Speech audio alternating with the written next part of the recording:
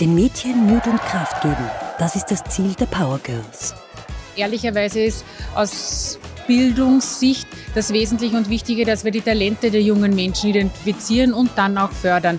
Und da haben wir oft blinde Flecken, wenn wir an Mädchen- und MINT-Bereich denken. Und daher ist es ganz besonders wichtig, schon im Kindergarten, aber dann auch in der Schule darauf hinzuschauen und sie mit diesen Themen vertraut zu machen und sie dafür auch zu begeistern. Im Idealfall gehen sie nachher natürlich dann in eine technische Ausbildung und in einen technischen Beruf, aber es geht um Selbstermächtigung, um Talentidentifikation, um vor allem dafür, dass wir die jungen Menschen gut begleiten und unterstützen. Seit 19 Jahren wird das Projekt sehr effektiv umgesetzt. Mädchen lernen die sogenannten MINT-Berufe kennen.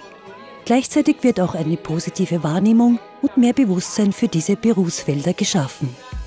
Das Projekt war von Anfang an besonders und es wird immer wertiger und leider auch, das muss man sagen, auch im fast 20. Jahr immer wesentlicher und wichtiger.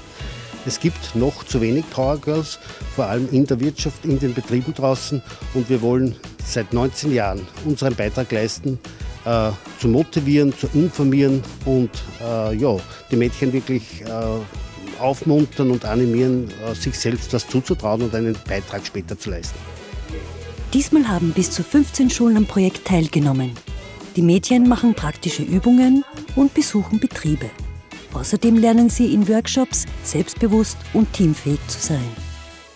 Also, dass wir in verschiedene Firmen gefahren sind und auch ganz viele verschiedene technische Berufe probiert haben, weil so kann ich mir jetzt auch vorstellen, dass ich später mal irgendwas mit Robotertechnologie zum Beispiel machen kann.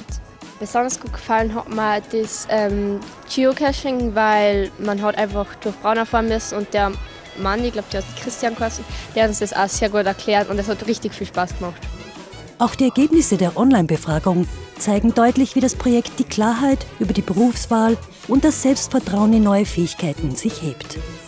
Bis zu 94 Prozent der Mädchen empfehlen das Projekt weiter. Also auch wenn ihr schon einen Beruf habt, probiert das trotzdem andere Sachen nur aus, weil vielleicht fallen euch ja andere technische Sachen an und man braucht ja immer Frauen, wie schon erklärt, in technischen Berufen, weil es nicht so viel gibt und lasst euch von keinem abhalten. Also ich würde sagen, ähm, probiert es mal aus, wenn ihr im technischen ähm, Beruf was machen wollt und auch wenn ihr ähm, noch nicht so gute Erfahrung habt, macht es.